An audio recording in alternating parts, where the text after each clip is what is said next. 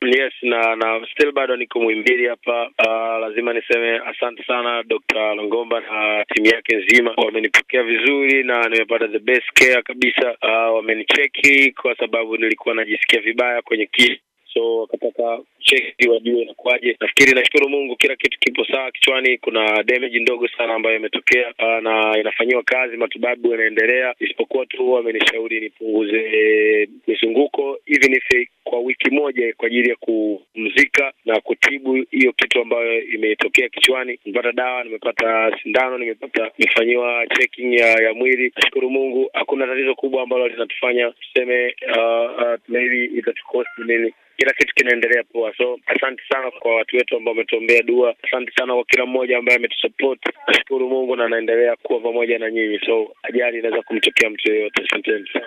Okay, Darasa, vipi kuhusiana na show ambazo tayari ulikuwa umeshapokea malipo? Maana tunafahamu kwamba kipindi cha sikukuu uh, wasanii huwa mnapata neema nyingi, yani show zinakuwepo nyingi sana. So daktari amekuambia upumzike wiki moja, hii inakuwaje?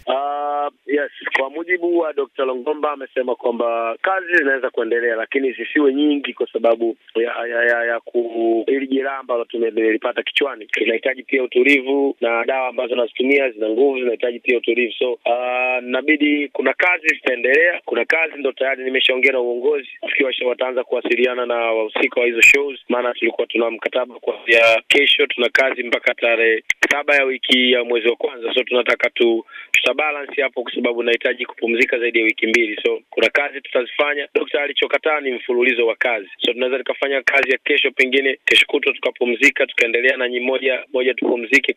Kuna show tutazirudisha, kuna show tutaendelea nazo. Nafikiri taarifa kamili tutawafahamisha wenyewe na kwenye mitandao ya kijamii tutasema.